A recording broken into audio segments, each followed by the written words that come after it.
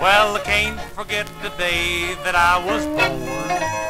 Well, don't laugh, people. I reckon I would know I was there about four o'clock one morning. Reason I know it's four o'clock, I got up and turned the alarm clock off. was on one cold and frosty winter morning, like froze to death. Had to get up and get Daddy's overcoat and spread it over my shoulders. Now the doctor said I was quite a chubby little chap, that little old booger. But when the nurse she took me on her lap, oh she bathed me all over. I remember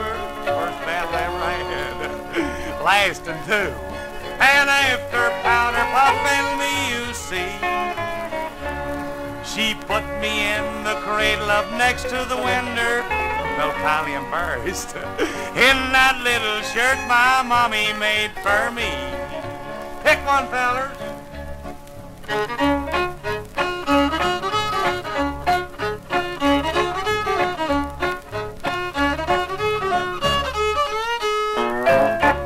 I'm gonna yodel, fellers. I can yodel too. Listen to this. All you have to do to yodel is open up your mouth and let your tonsils back far.